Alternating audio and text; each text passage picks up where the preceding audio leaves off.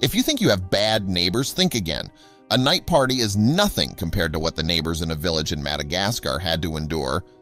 It all started with a strange smell coming from a house that everyone considered abandoned. The smell was so nauseating that identifying its source took some time. Initially, local residents couldn't determine where the smell was coming from. It was so strong that residents began to choke on it. No one wanted to point fingers at their neighbors, so the problem continued to escalate. Eventually, everyone decided to join forces and discovered that the smell was coming from a house that looked abandoned. Neighbors now had to find a way to get inside. They could enter illegally, but the smell was so stale that they wanted to be sure that there was nothing dangerous inside. They considered calling the police, but they didn't want to bother them with what seemed rather a silly problem. Although everyone thought the house was abandoned, surprisingly, people were seen entering and exiting. The residents couldn't understand how anyone could approach such a stinky house, let alone enter it. After receiving a report, the police carried out their duties and searched the house. They asked some of the neighbors to guide them around the property. The officers had no idea what they might be dealing with upon entering, so they made the necessary preparations. In case anything went wrong, a team of specialists, including a forensic pathologist and a wildlife expert, accompanied them. Sori Randrian was a member of the Flora and Fauna Committee.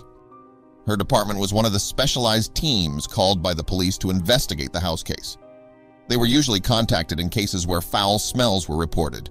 The house was located in the city of Toliara, on the southwestern coast of Madagascar. The city is often described as incredibly beautiful and peaceful, a place where residents live together without any real worries. The Environmental Protection Agency was established a long time ago, so it has seen many crazy incidents involving animals. They have dealt with everything from scared kittens to feral predators, there are few things they haven't seen before. Upon arriving at the house, they realized that the stench was not something they had felt before. Sori had been in many different situations, but this one stood out from the others. Neither she nor her team had ever smelled anything like this house. Now they were completely unsure of what they would find inside, except for the horrible smell coming from inside the house looked quite normal. It was large, and from the outside you couldn't tell that it hid a terrible secret. However, it was so quiet inside that you could hear a pin drop. Everyone wondered why such a nice house had been abandoned. They also checked if it was for sale. It wasn't. At this stage of the investigation, Sori was convinced that the smell was related to animals. Only animals trapped in a confined space could produce such a stench However, she couldn't completely discard the idea that there might also be people in the house. When the team arrived on the scene, they came face to face with strangers, and they had shovels in their hands. Not only that, but they were also digging holes. It seemed that they were trying to do it as quickly as possible. Nobody understood the situation. All hypotheses were thrown out the window. The house was not only not abandoned, but people were digging holes around it, adding more mystery to the situation. Seeing strangers digging holes around the house, the police decided to intervene. They began to question the individuals who quickly showed their identification cards. This would be an interesting development. It turned out that the men were animal control officers.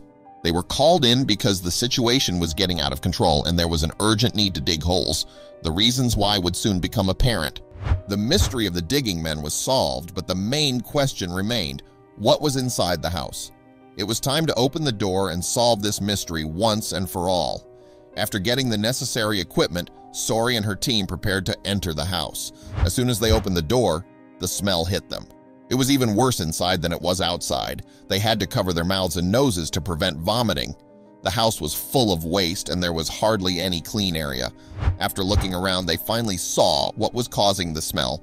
It was a tortoise. Not just one or two, but thousands of them. The house was full of tortoises. There was hardly any space to walk without stepping on them. It was a nightmare scenario. The tortoises were in a terrible condition. Many were undernourished and sick, and some were even dead. The team couldn't believe what they were seeing. It was like a horror movie scene, and they didn't know how to react.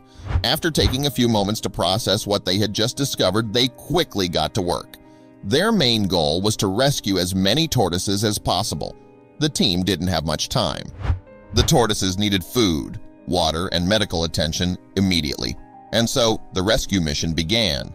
They started taking the tortoises out of the house one by one.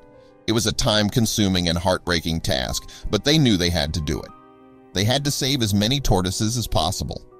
In the end, the team managed to rescue over 9,000 tortoises from the house. After the rescue operation, the authorities began searching for the owner of the house. It turned out that the house was being used by animal traffickers. They were illegally keeping the tortoises in the house and selling them in the black market. The owner of the house was arrested and charged with animal cruelty and illegal trafficking. This incident highlighted the serious problem of animal trafficking. Thousands of animals are captured and sold illegally every year. This not only harms the animals, but also disrupts the balance of the ecosystem. It is important for everyone to understand the seriousness of this issue and work together to put an end to animal trafficking. It was indeed a traumatic experience for everyone involved, but it also served as a reminder of the importance of protecting animals and preserving nature.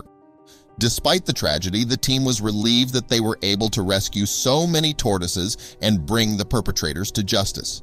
They vowed to continue their fight against animal trafficking and work tirelessly to protect and conserve wildlife.